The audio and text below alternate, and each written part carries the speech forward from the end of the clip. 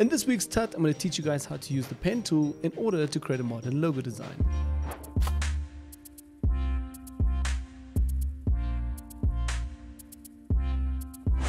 So hey guys, welcome back to a brand new Photoshop design tutorial. My name's Manny and in today's tutorial I'm going to teach you guys how to do a modern logo design using the pen tool. Now if you're here for the first time, do have a look. Down below in the description is a link to the Tronix Design Media Package where you get everything that I create on a monthly basis for $4.99. All my brushes, shapes, PSDs, backgrounds, everything that I create on a monthly basis you get here for $4.99. Okay, great. So let's get right away into this tutorial. So you guys can see here at the top layer is still the whole finished design. And then on top of that, uh, underneath that, I actually have a few more layers that I want to show you guys quickly. So I'm just going to turn off this logo layer here. And then obviously for the background, I just created a normal gradient from red into yellow to give everything a bit of a nicer touch. You can also do this on a white layer, on a black, whatever you want. Also for the newcomers, there's a tutorial on the channel about canvas sizes. Do have a look if you are completely unsure how to get here. So the idea was to have basically an M letter shape and also that shaped into a kind of a brush stroke so let me show this again. So it kind of looks like a big brush that stroke that M that gives the name uh, Molo and gives the M for the name Molo. So I first created the sketch and did that. That was my initial design. And then from here on, I just refined it a little bit and made it a bit more looking like a kind of a brush. So use this to trace again my design. Now today I'm not going to trace every single step because it took me quite a long while to get to this very refined round edges with my paths. Um, today I'm going to trace this one as well, but I initially used this. So let's actually start there. I'm going to show you quickly how to do this and then I will go over to this one and just refine it a bit better. Okay, so first step was just to have step two, so basically my sketch here. And then what I did is I created two empty layers. So just via the layer icon down here, two empty ones. I'm gonna take now the rectangular marquee tool, press Command A, select the, the whole canvas here. Also guys, I'm working on a Mac, so if you're a Windows user, please press Control when I say Command. Okay, so Command A, select the whole canvas, hit right click and say fill here just with white. Okay, Command D, get out of the selection. Again, Windows user, please press Control. Okay, one more time, Command A, select the whole thing, right click, say fill. And here I'm gonna go to color. And this time I'm just gonna pick like a bit of a darkish gray color, which I want for my font as well, or basically in my design. I'm gonna hit OK. Great. Command D, get out of the selection. And I have now here gray and white. I'm just gonna quickly rename it for you guys. There we go. Great. Let's turn them off and go back to our, just our sketch. Now I'm going to press P on the keyboard in order to get into the pen tool.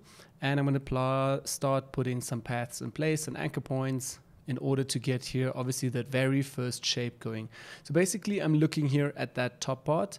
Let me just turn this off. So basically this little uh, part here. And now the white layer acts as our, say, vector mask. Uh, because I, once I have done all the paths, this first one, the second one, third, and fourth. I will just create a vector layer here, and then in order I can shape. But let me show you that.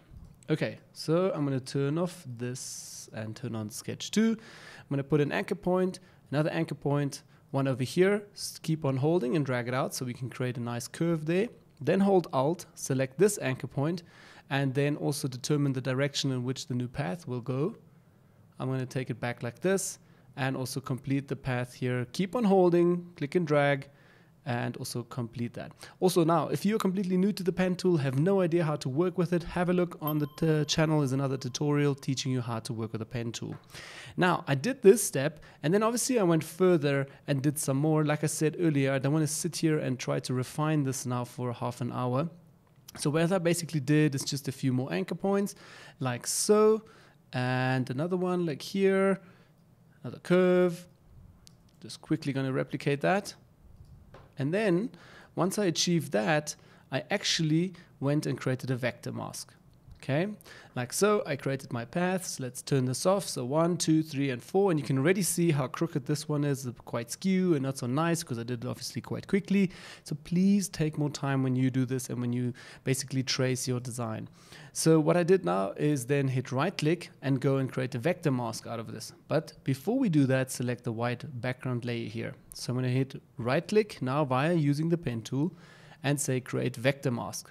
So right away, if I switch this on, I can see the design here. And now I can go back to my, so to say, sketch here. You can also turn your sketch, if you did this on a white piece of paper like I did, you can change the blending modes to darken so you can see things a little bit better.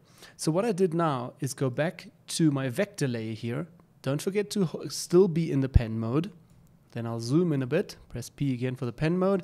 And now I hold command on my keyboard, again for the Windows user control and I select my anchor points and these little dots over here. And then I basically reshape this until I'm happy and until I feel, yes, now I'm getting the curve that I'm wanting and it looks kind of better. And this process I did for quite a while until I achieved this look. So just to give you an idea, this took me quite a while to get everything nice and round. So what I want to do again is just delete uh, this vector layer here and also trace quickly from this initial design. So we don't need to sit here and watch me try to get all my curves properly and nice and round for half an hour.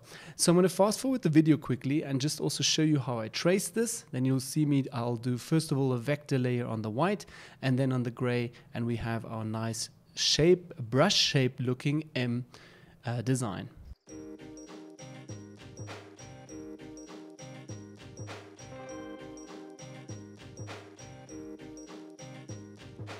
Okay, so I've created a nice path and finished those. I'm going to go back to the white layer here and then select the pen tool, right click and say create vector mask. So right away I have my beautiful vector mask over here.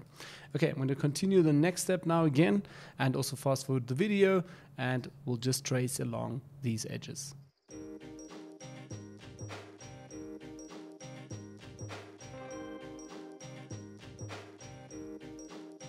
Okay, last anchor point, and again, the pen tool, select the gray, and I'm going to hit right click and say just create vector mask. So I'm to turn on the white and the black, and then let's also have a look here. If I turn this on top, so we can see all the nice designs here. And I can right away see here that I should extend maybe my white a little bit further. So it just bleeds in a bit nicer and also here at the bottom. So that's what I meant earlier again. So I went back now to this layer, just press B on the keyboard zoom it a bit closer, and basically take this anchor point here and just move that a little bit down so it matches up. I'm going to use the same over here. Just also expand that a bit further in so it matches up a bit nicer there. And here at the top as well, drag this in a bit further. Great. Let's zoom out again. Okay, let's have a look down here. That all looks good. Take the pen tool, hit double escape, and you're out of that. So right away, you have your design just created with the M. Then you can take both of these, just press Command G, and just obviously put that together in a group and like maybe write logo M. That is set. You can have your steps here with your initial designs. You can leave them, delete them, whatever. And then I obviously just created here a little nice background at the back, just having from red into orange, have a nice gradient so it looks a bit nicer. And then lastly, what I did is still select the text tool and just gave this obviously the last letters. So Olo is the last one, Olo, and for this I use a certain font. It's called Neon 80s, regular and about 50 pixel size. So you guys can also find that in the description down below if you didn't see this up here.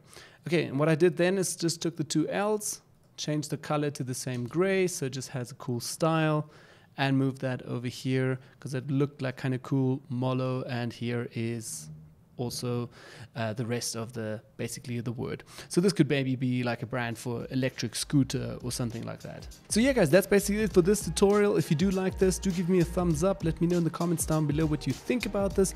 Don't forget to subscribe, hit the bell so you're notified when I send out new videos every week. And yeah, do let me know in the comments what you like about this. Also give me a thumbs up. And yeah, hope to see you guys all in the next tutorial. See ya!